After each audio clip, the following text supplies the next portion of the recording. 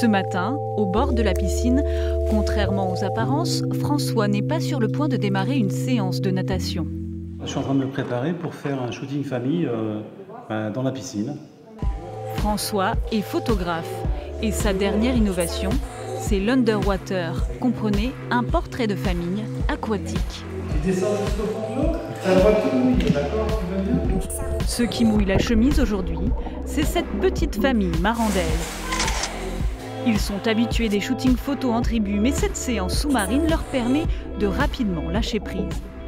Je trouve que le fait d'être sous l'eau et de ne pas avoir, on a moins de contrôle, même de la, du mimique du visage ou quoi, euh, c'est, plus, pour moi c'est plus facile. Allez, tu peux sauter Plus facile pour eux, mais pas forcément derrière l'objectif. Le challenge pour le professionnel, c'est de gérer la lumière, les jeux de mouvement de vêtements, de cheveux, le tout en apnée. Je plonge avant pour être sûr qu'au moment de la descente, euh, vraiment, euh, je puisse avoir le bon moment, le bon instant. Je ne sais pas du tout quand la personne va tomber, enfin au fond de l'eau, euh, quand est-ce qu'elle va se mettre. mais voilà, on joue avec le hasard, le hasard fait souvent bien les choses. Résultat, des images aux allures d'aquarelle dessinées par l'eau, oniriques. Mais avant d'en arriver là, au studio photo, il faut compter deux heures de retouche pour Julie, la femme de François. L'eau est bleue à cause du liner, mais les gens sont bleus aussi. Et du coup, je recolorise toutes les teintes qu'il peut y avoir dans la photo.